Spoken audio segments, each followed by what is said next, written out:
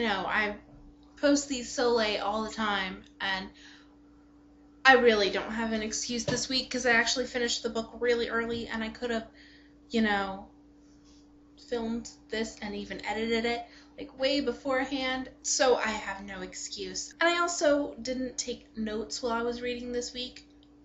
I really should have, but I didn't. And so that just make means that this is going to be a really really short um, book review. Uh, this week, the last book in the Black Magician trilogy, The High Lord. Um, you can tell by the past two uh, reviews. I like this series. It's a good series. It's if you're into fantasy, especially you know general plain old magic fantasy. Yay, good. It's good.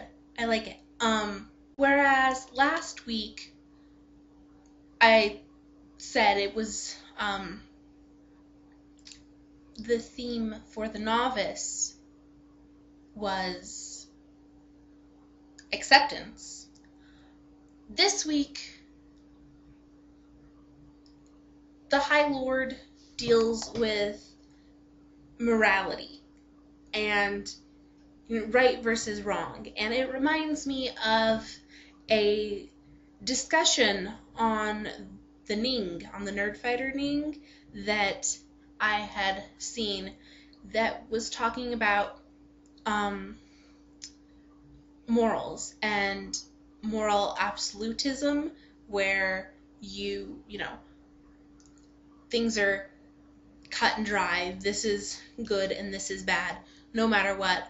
Or, you know, taking into account circumstances and times when things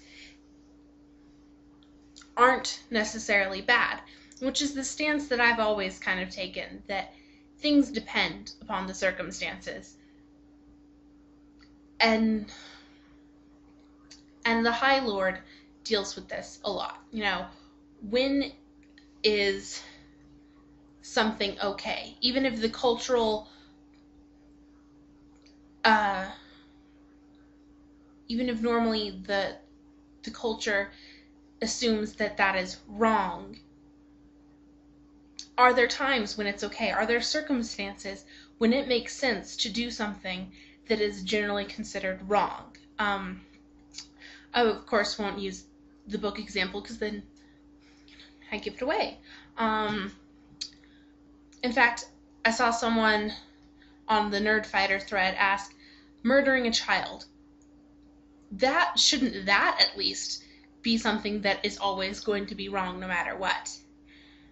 But then here's an example. Um, it's World War II, and you're a Jew. It doesn't have to be World War II. I'm, I'm just, it's just something though. And you're hiding with a group of other people from the Nazis. And you have a newborn baby who starts to cry and and won't be quiet. And you basically have two options. You either quiet the baby by covering its mouth and suffocating it, or you let the baby cry and you let everybody who's in that closet or whatever hiding be found, and everybody dies. I mean, it's not the baby's fault. And people cringe when they think of killing a baby. Like, under normal circumstances, smothering a baby is not right at all. But in this circumstance, what would you do? Uh, both circumstances end with death. But in one, it's only one person who dies, and in the other, every single person who you're hiding with dies. And, you know, I would argue that the one that you're going to do is smother the baby. And that's not necessarily a bad thing.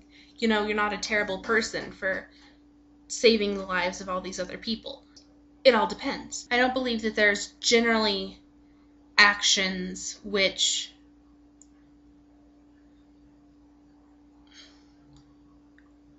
are absolute, that there is a definite right or wrong for every situation. And the High Lord has the same kind of thing. It, you know, for especially for you know if you are into the idea that there is a definite right and wrong for everything, um, you know, it might kind of challenge that. When is something that is generally viewed as bad actually okay? Um, so, yes, I think that is the general theme for um, the third book, and I won't say more and give more away, but I liked the trilogy. It's um, in its entirety, it's very awesome, and I think if you're into fantasy, you should check it out. If you're not into fantasy, maybe this would get you into fantasy. Um, it's pretty good. I like it. Um, let's see. I don't actually know what I'm doing for next week's book. Um, I made a thread on the Nerdfighter Ning, and I've asked for recommendations for fantasy, and I've got tons of responses. So I guess I'm gonna go through there. I'm gonna find which ones you know I feel like doing. See which ones are currently at my local library, so don't so I don't have to wait for them to ship it in, and um, read and write a review. So I don't know what I'm doing right now, but yeah, um, and stuff, and um, I'll see you all next week. Ta ta.